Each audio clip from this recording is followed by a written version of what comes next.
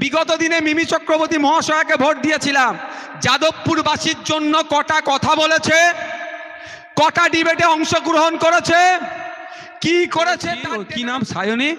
সায়নী ঘোষ। আমি আপনাদের বলি ওই ভদ্রমহিলা সায়নী ঘোষ যেভাবে একমত নয়। এই মতটাকে তিনি এই সায়নী ঘোষ যে মন্তব্য করেছে তৃণমূল যে এই শব্দটাকে তারা প্রাধান্য দিচ্ছে না বা গ্রহণ করছে না অফিসিয়াল স্টেটমেন্টও দেখতে পেলাম না। আপনিও কর্মী, আমিও কর্মী, কিন্তু আমি মনে করি গুরুত্বপূর্ণ কর্মী কে জানেন? বুথের যারা নেতৃত্ব দিচ্ছেন, বুথের যারা উঠে আসছেন। কারণ বুথ হচ্ছে, বুথকে যদি আমরা চাকাতে পারি, বুথকে যদি আমরা জেতাতে পারি, তাহলে আমরা ব্লকও জিতব। আমাদের এই যাদবপুরে ইন্ডিয়ান সেকুলার ফ্রান্ডের প্রার্থী কজন একটু হাত তুলে বলবেন? ভুল হচ্ছে কিন্তু। না আমার মনের কথা আপনি বুঝতে পারলেন না। আপনি বলুন ইন্ডিয়ান সেকুলার ফ্রন্টের যাদবপুরের প্রার্থী আপনি হাত তুলুন কে কে আপনি প্রার্থী? কে কে প্রার্থী হাত তুলুন? তুমি মালিক ভাই প্রার্থী নয়? একটা কথা বলে রাখি পঞ্চায়েত নির্বাচনে অনেক হিংসা করেছে। এক বেটাকে জেলের ভাত খাওয়ানো হচ্ছে। এখন তারা গোষ্ঠীদ্বন্দ্বের নামে চালাচ্ছে কি আমার দেখার দরকার নাই। ফার্স্ট কিন্তু জেলের ভাত এই আইএসএফ তাকে খাইয়েছে। আইএসএফ এর মামলাতে তিনি অ্যারেস্ট হয়েছে। ওই মামলা কিন্তু অনেকজনের নামেও আছে। বুঝতে পারছেন না? যারা দু হাজার একুশ সালে অনেক ভয় দেখিয়েছিল দু হাজার চব্বিশের আর ভয় দেখানোর কোনো জায়গা আছে ভাই? বরঞ্চ আমরা বুতে বুতে চলে যাব, গিয়ে এই বিজেপির বিরুদ্ধে ক্যাম্পেনিং করব। বাস্তব বলছি তো, একজন বিজেপির দাঁড়িয়েছে এখানে কি নাম? ওনার জানেন? কি গাঙ্গুলি মহাশয়। আর দেখতেই পাওয়া যায় না, শুনলাম না উনি নাকি দিল্লিতে বেশি থাকেন। বাংলা ভাষা হয়তো বেশি ভুলেই গিয়েছে হিন্দি আর ইংলিশ উনি জানেন। বাংলায় থাকে না। তাকে ভোটটা দিয়ে লাভটা কি হবে? বিগত দিনে মিমি চক্রবর্তী মহাশয়াকে ভোট দিয়েছিলাম। যাদবপুরবাসীর জন্য কটা কথা বলেছে, কটা ডিবেটে অংশগ্রহণ করেছে, কি করেছে, তার ডেটাটা পাঁচ বছর শেষ হয়েছে তাকে দিতে বলবেন। আর বন্ধু যারা আমার, এখানে পঞ্চায়েতের নেতৃত্বরা বুথের নেতৃত্বরা ব্লকের নেতৃত্বরা আছে। আপনারা জোর গলায় বলবেন যে পারলে বিধানসভার টিভিটা চালাতে বলুন। বা স্পিকার স্যারের মাধ্যমে প্রসেসিংটা আমার যেগুলো পারফর্ম করেছি বিধানসভার মধ্যে, সেটা জনমানুষে দিয়ে দিক। আমাদের আড়াই বছরের বিধায়ক ভাঙড়ের, ভাঙড়বাসীর জন্য কথাটা বলেছে। আর আমার ল্যাডের টাকা, আমি বিগত দিনে বলছি, আজকেও বলছি, পাঁচ বছর শেষ হওয়ার আগে তিন কোটি পাওয়ার দরকার ছিল। আপনাদের মূল্যবান ভোট নিয়ে বিধানসভার মধ্যে মমতা ব্যানার্জিকে এমন প্রশ্ন করেছি, এমন কথা বলেছি। দু হাজার এগারো সালের আগে এমএলএ ল্যাডের টাকা ছিল বছ- বছরে ষাট হাজার টাকা, দশ, ষাট লাখ টাকা, সেটা দশ লাখ টাকা বাড়াতে বাধ্য করেছে এই ভাঙড়ের বিধায়ক। এখন সত্তর লাখ টাকা হয়েছে। সে যেটা তিন লাখ এই তিন কোটি সামথিং লাখ টাকা হচ্ছে। যে টাকা হচ্ছে, আমি কি বলেছি আপনাদের বিগত দিনে?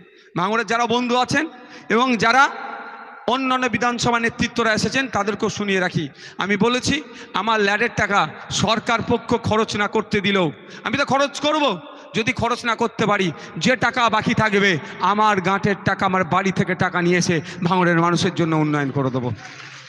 আর কি বলেছি, পাঁচ বছর শেষ হবে, আমার পিরিয়ড শেষ হবার সাথে সাথেই এই পাঁচ বছরে আমি ভাঙরবাসীর জন্য কত কি করেছি? কজনের জন্য সই করেছি? আইডি কার্ডে কতজনের রেক্টিফিকেশনের সই করেছি? আধার কার্ড থেকে শুরু করে রেকমেন্ডেশন থেকে শুরু করে কতজনকে ব্লাড দেওয়া হয়েছে? টোটাল ডেটাটা আমি জনমানুষের কাছে এই খামে ভরে প্রতিটা বাড়িতে বাড়িতে ভাঙরে আমি পৌঁছে দেওয়ার চেষ্টা করব।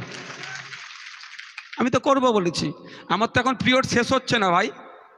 কার পিরিয়ড শেষ হয়েছে? মিমি চক্রবর্তী মহাশয়ার। তা তাকে বলুন, পাঁচ বছরে কি পারফর্ম করেছেন? দেখবেন নীল। ভাঙড়বাসী তো দূরের কথা ছোট ইন্ডিয়ার যাদবপুরবাসীর জন্য কোনো আওয়াজ তোলেনি। যখন কৃষকদের বিরুদ্ধে বিল পাস হয়েছিল, সেই সময় কোনো কথা বলেনি। তাই আমরা যদি অনির্বাণ বাবু, অর্থাৎ বিজেপির প্রার্থীকে কেউ ভোট দিয়ে জিতে, জিতিয়ে পার্লামেন্টে পাঠাতে চাই, ঠিক ওই মিমি চক্রবর্তী মহাশয়ের মতো হবে। আর এখন থাকল কে?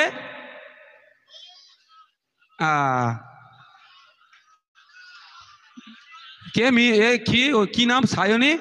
সায়নী ঘোষ।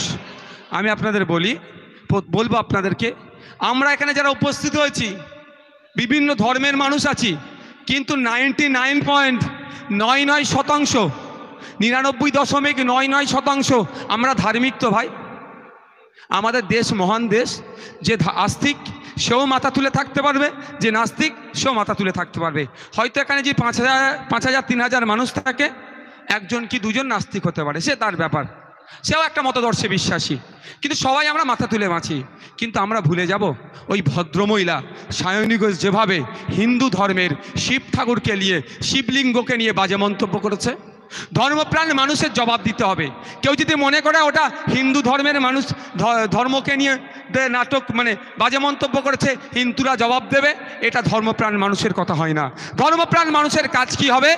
মসজিদে কেউ যদি মসজিদ নিয়ে কথা বলে, যেমন রুখে দাঁড়ানো, মন্দির সম্পর্কে বাজে মন্তব্য করলে একইভাবে রুখে দাঁড়াতে হবে। গির্জা সম্পর্কে বাজে মন্তব্য করলে, ধর্মস্থান সম্পর্কে বাজে মন্তব্য করলে রুখে দাঁড়াতে হবে। এটা ধার্মিকের পরিচয়। তো সায়নী ঘোষ মহাশয় কি বলেছে? শিবলিঙ্গ শিবলিঙ্গকে বাজে মন্তব্য করে জানেন তো? তা আমরা কি করব? ওকে যদি আমরা প্রশ্রয় দিই ওনাকে ওই ভদ্র মহিলাকে যদি প্রশ্রয় দিই, তাহলে আগামী দিনে এই ধরনের বাজে মন্তব্য বিভিন্ন ধর্মকে নিয়ে করবে।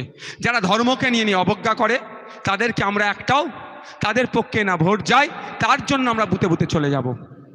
আর একটা কথা, অদ্ভুতভাবে দেখছি, এই মতটার সাথে তৃণমূল যে একমত নয়, এই মতটাকে তিনি সায়নী ঘোষ মন্তব্য করেছে, তৃণমূল যে এই শব্দটাকে তারা প্রাধান্য দিচ্ছে না বা গ্রহণ করছে না অফিসিয়াল স্টেটমেন্টও দেখতে পেলাম না।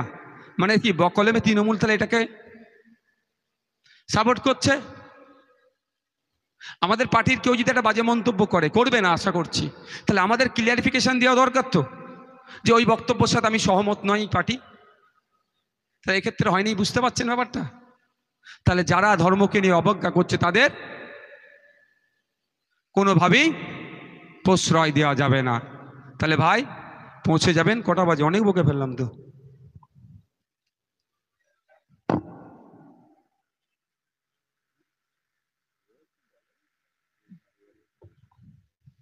আর পাঁচ সাত মিনিট টাইম নেব, অসুবিধা হবে ভাই? কালকে রাত্রিরে আমরা বেরিয়েছি মালদাতে, মুর্শিদ ইয়ে ইটাহাত থেকে। কখন পৌঁছেছি বাড়িতে জানেন? আমার, কি বলে লোকেশনে দেখাচ্ছিল ছটা, এই পাঁচটা পঞ্চান্ন। কটায় পৌঁছেছি বলব না, কারণ আমার বড় ভাইজান ভিডিও দেখলে ওই দিদি দেখে বিপদ হয়ে যাবে। পাঁচটা পঞ্চান্নই টাইম দেখিয়েছে লোকেশনে তার অবশ্য আগে পৌঁছেছি। তারপরে এখানে আসা। আমারও কষ্ট হচ্ছে, আপনাদেরও কষ্ট হচ্ছে, আপনারাও মেহনত করছেন। আমি চেয়ারম্যান আমাকে একটু বেশি মেহনত করতে হবে। আপনারা বুথের নেতৃত্ব আমার থেকে একটু কম মেহনত করবেন অঞ্চল নেতৃত্ব একটু বেশি তাকে করতে হবে। তাকে বেশি করতে হবে মানে কি? বুথের নেতাদের, তাদেরকে একটু আওয়াজ শুনতে হবে। এটা করো, সেটা করো। তুমি এটা করে দিচ্ছ না কেন? এটা শুনতে হবে অঞ্চল নেতৃত্বদেরকে। ব্লকের নেতৃত্ব আর একটু বেশি শুনতে হবে। অঞ্চল নেতাদের কথাগুলো শুনতে হবে।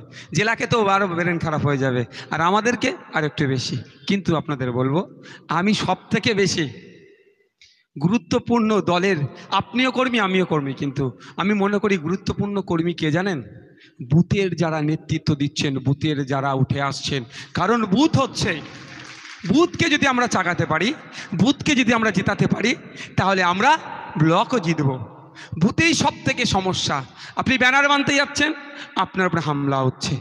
বুথে আপনি দেয়াল লিখতে যাচ্ছেন, আপনার দেয়াল মুছে দিচ্ছে। আপনি বুথে বুঝাতে যাচ্ছেন, আপনার মিথ্যা কেস দিচ্ছে। সব বুথে সমস্যা।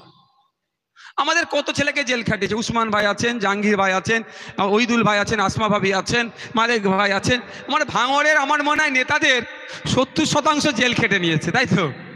তবে একটা জিনিস ভালো হয়েছে। কি বলুন তো? হ্যাঁ? আমরা জেলের ভয় আর খাই না। আচ্ছা ভাঙড়ের যারা জেল খেটেছে, একটু হাত তুলুন তো। এই, হাত তুলো, জাহাঙ্গীর ভাই। ভাবতে লজ্জায় অনেকজন তুলছে আরে জেল খাটা আসেনি চুরির দেয় নাকি? আচ্ছা না বাবা। লজ্জায় তুলছে না।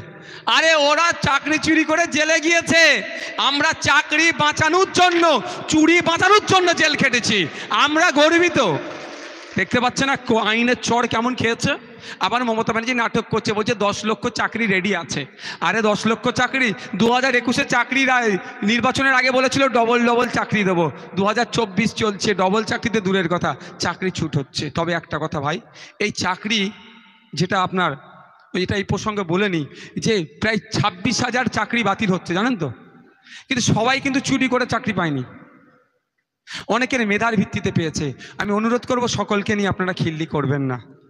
আপনারা সরকারকে প্রশ্ন তুলতে বলুন। গ্রামে গ্রামে পাড়াতে পাড়াতে যান যে মা ভাবুন ছাব্বিশ হাজার পরিবার আজকে ধ্বংস হয়ে গেল। যে টাকা দিয়ে চাকরি নিয়েছে, তারও পরিবার ধ্বংস হলো। কারণ ওই টাকাটা জমি জায়গা বিক্রি করে দিয়েছে।